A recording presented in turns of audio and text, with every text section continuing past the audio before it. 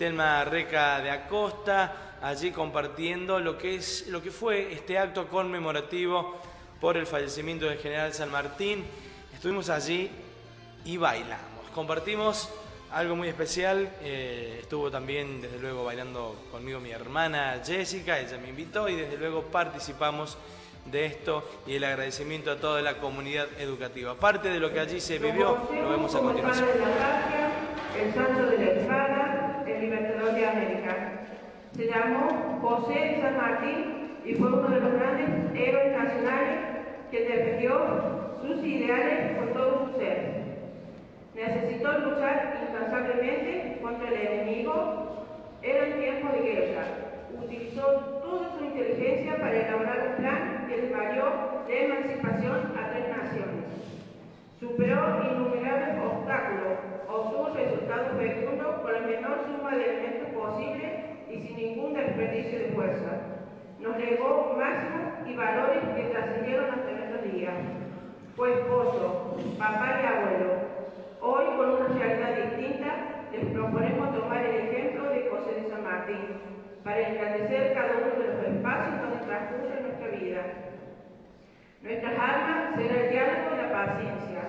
Nuestros caudillos serán los obstáculos diarios que debemos vencer perseverantemente. Nuestro plan será ser felices con cada uno de los logros que conseguimos. Nuestra misión será trabajar para superarnos día tras día. Nuestros enemigos será el egoísmo, la apatía y la soberbia.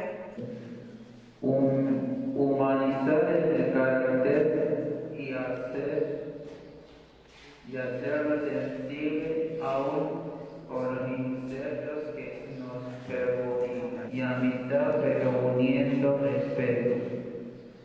Caridad con los pobres, respeto sobre la propiedad ajena,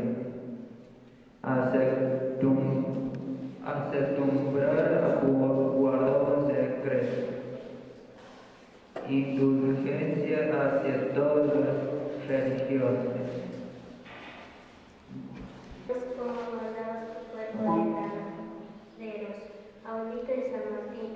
Que fuiste general, enséñanos a ser buenos.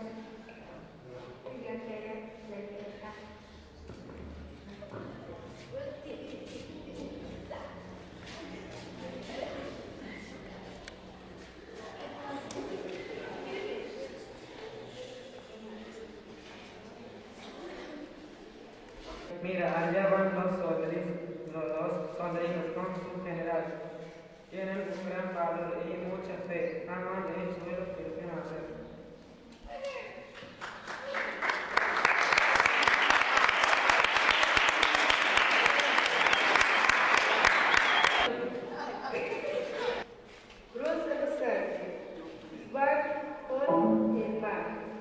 le dan a América su libertad.